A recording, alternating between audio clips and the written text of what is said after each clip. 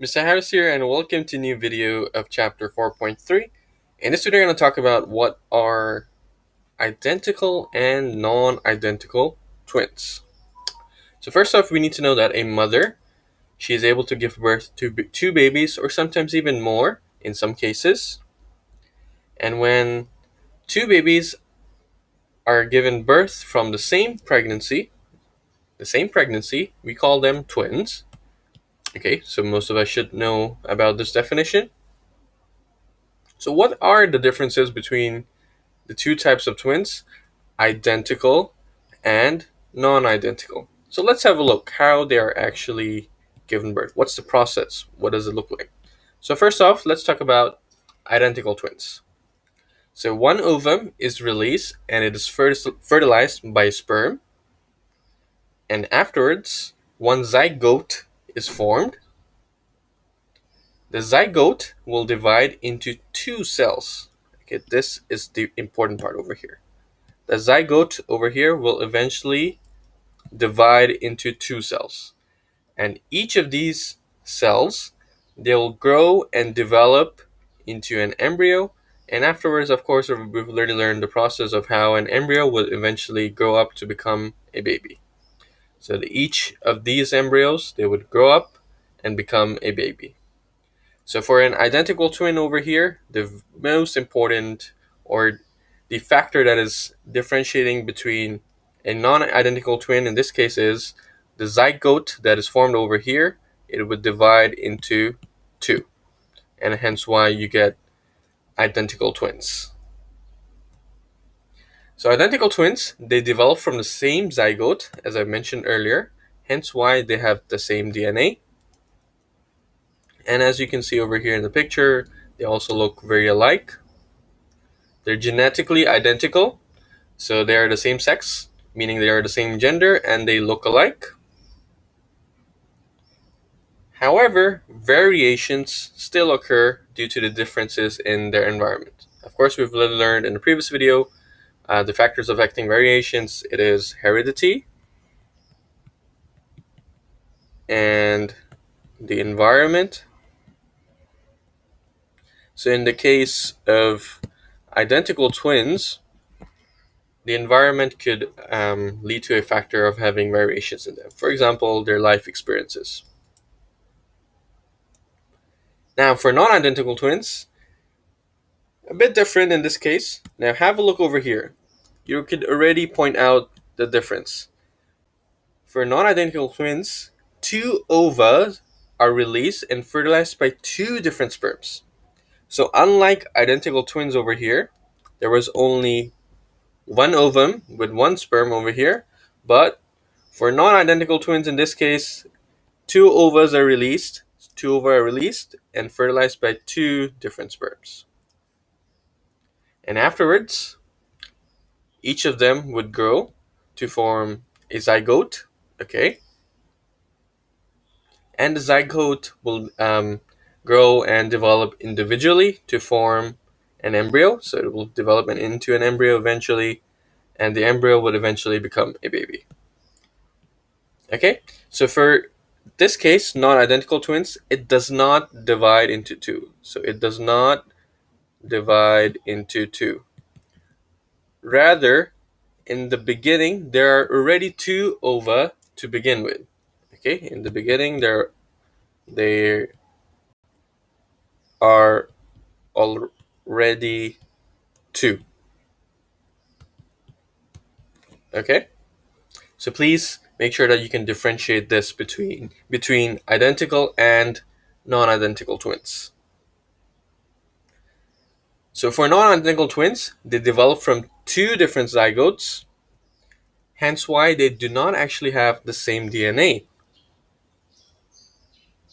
Also, they're genetically different. Okay, as you can see in the picture over here, their gender may not be the same, may not be the same, and they may not look alike as well.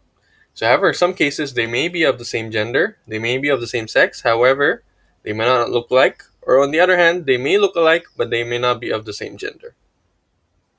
Okay? So let's wrap up this part. What what type of twins? They develop from the same zygote and they're genetically identical. Of course, it's pretty obvious. Use the same word, identical twins.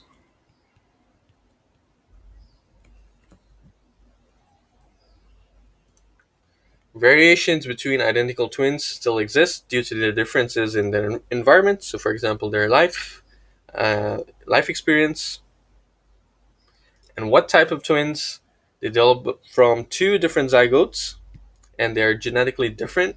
What are they called? Yes, these are non-identical twins.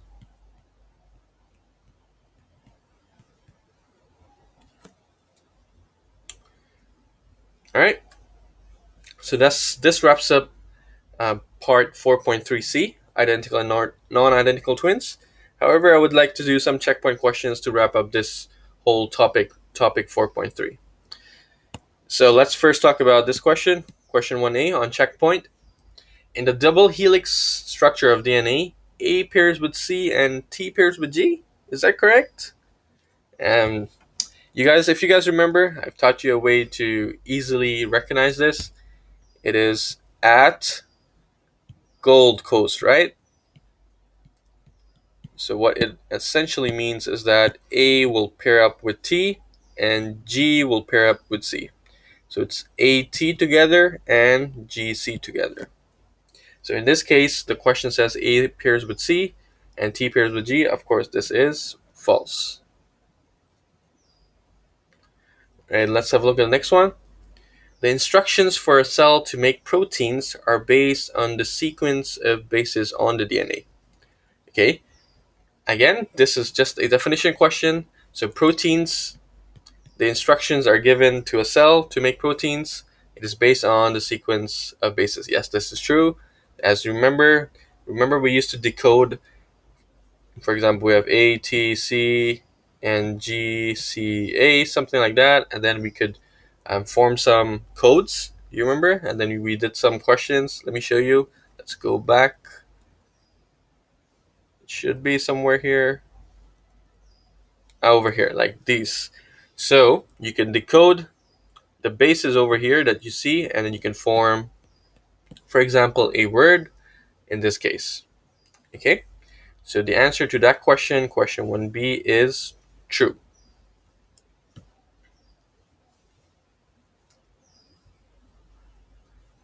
Let's see question 1c. Variations in our weight are determined by both heredity and the environment. Is that true? Yes, of course it's true. As I mentioned earlier, variations it can be determined by both heredity and the environment. And finally, which of the following traits is not a continuous variation in humans? So continuous variation, if you remember, I gave you an example is that you can, for example, have a wide range of values. So wide range of values. And on the other hand, discontinuous, discontinuous variation is when you have either one. So either you have it or you don't have it. So over here, which one, for question two, which one is that you either have it on one hand or you don't have it on the other hand? So let's see. Question option A, circumference of the head. So circumference because it's a, a, wide range of value. So some may have a smaller head, some may have a bigger one. So this is not correct. IQ, IQ level, some may be some may have a lower IQ level, some may have a higher one. So again, this is not true. Let's look at option D first, hand span. As we know, the hand span could vary in length. It can be shorter or it can be longer for some. So this is not true. And obviously over here, the only remaining option is option C. So you're either right-handed or you're left-handed. So only two options. So that is the definition of discontinuous variation. And that is the answer for question two. All right, so guys, so this wraps up chapter four. So in the next videos, we'll be starting a new chapter, chapter five. I'll see you guys in the next ones. Bye.